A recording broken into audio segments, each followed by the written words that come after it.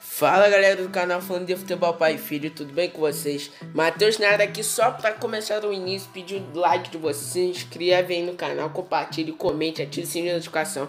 Faz tudo aí galera para mais um mercadinho da bola aí, mais um mercado, quer dizer, não mercadinho, mercadinho nós temos aí rede economia, mercado campeão, mas mercadinho eu não digo de mercado pequeno. E hoje vai estar aí meu irmão galera, o canal dele tá aparecendo aí e é nóis. Fala aí galera do canal Falando de Futebol Pai e Filho, eu sou o William do canal RN Underline Raiz 10 e bora para o vídeo.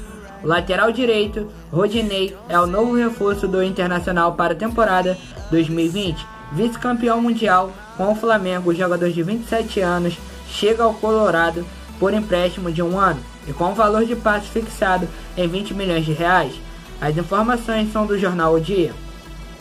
Longe de ser unanimidade no Fla, Rodinei tem sido reserva imediato de Rafinha na lateral direita, mas tem chances maiores de atuação no Colorado.